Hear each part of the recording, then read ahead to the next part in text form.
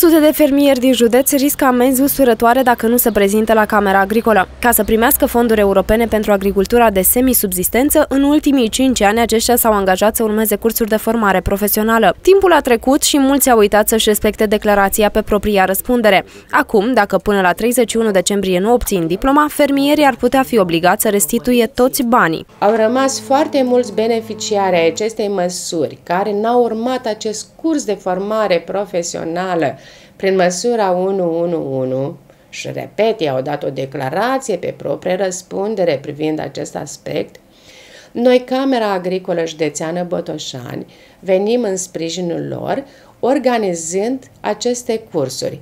Până anul trecut, cursurile erau organizate de societăți private. Din acest an însă, organizarea lor a intrat în atribuția Camerei Agricole Botoșani. Deocamdată suntem la organizare, pentru că e vorba de 729 de persoane care trebuie să urmeze acest curs.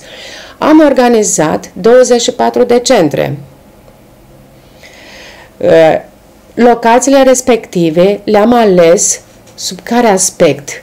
Unde sunt cei mai mulți. De luni, reprezentanții Camerei Agricole vor trimite invitații în care vor fi specificate locul și perioada desfășurării instruirii. Săptămâna viitoare vor primi absolut toți notificare și toți vor ști unde se va ține locul și în ce perioadă. Cursurile durează doar 5 zile și costă 150 de lei. La sfârșit, fermierii primesc un atestat pe care mai apoi trebuie să-l depună la Agenția pentru Finanțarea Investițiilor Rurale, fostul APDRP.